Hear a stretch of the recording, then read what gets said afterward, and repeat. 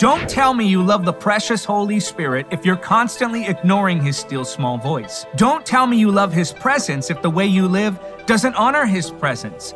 Don't say, I'm a friend of the Holy Spirit, if you're constantly rebelling against His instructions and grieving Him by a lifestyle of disobedience. Look, we all make mistakes, myself included, but there is a difference between struggling to overcome sin and just giving in to a lifestyle of sin with no attempt or intention to walk in holiness. Jesus said, If you love me, you'll obey my commands. Your lifestyle reveals your love. This isn't a message of condemnation, but of correction. If this message is challenging you, that's because the Holy Spirit loves you too much to leave you surrendered to your sin.